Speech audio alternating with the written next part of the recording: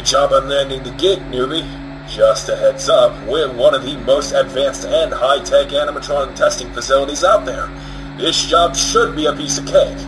However, if you mess up, there will be consequences. But we won't cover that right now. I've taken the initiative to install a camera system and a desktop assistant to help you guide you through your first week. Alright, well, let's get to it.